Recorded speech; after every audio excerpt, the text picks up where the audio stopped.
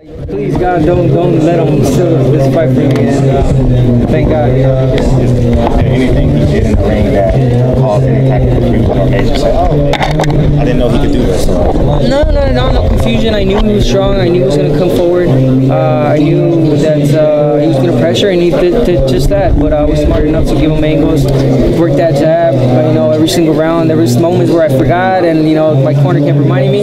But I think I fought the, game, the perfect game plan. What was going through your mind when you dropped him?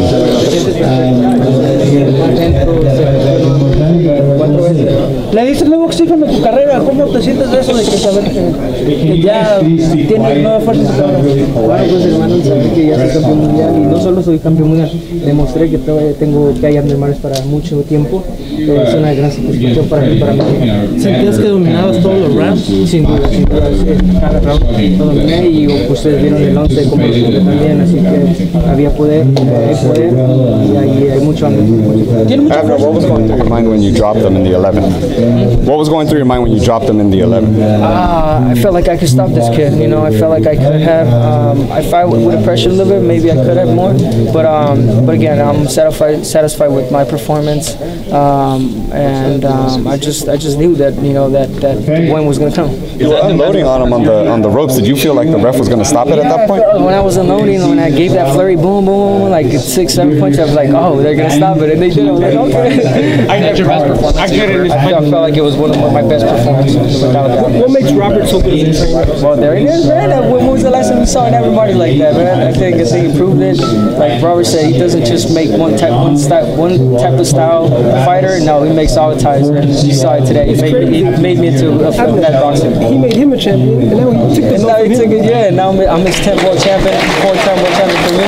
So I'm blessed to have a great. We always joke that the cartoon on the wall at his gym, we're going to raise the belts from where put the, They're gonna have to put me on that van and, then on the wall, man.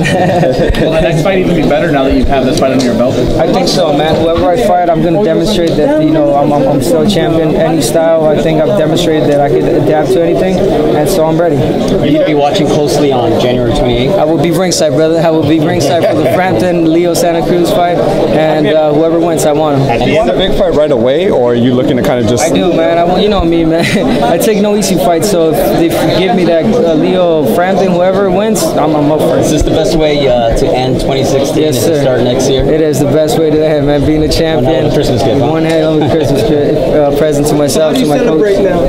now? Um, I'm, I'm gonna go party, man. Nah, I gotta, I gotta go celebrate with my people, man. With my people, I brought the van, uh, a good band, you know, and um, I'm just gonna go celebrate with my family. At the end of the 12th round, you fell to your knees and Robert Garcia hugged you.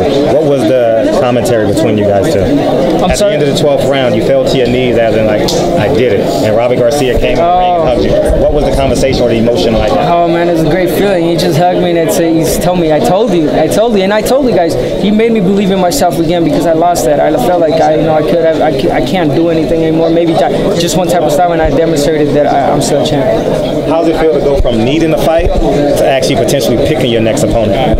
How does it feel to what is that? Needing a fight to now you get to potentially pick your opponent with holding the Oh man, it's a great feeling. Yeah, to, to, you know, before I was a no champ, I had no decision. Now I'm a champ, and I can call out anyone.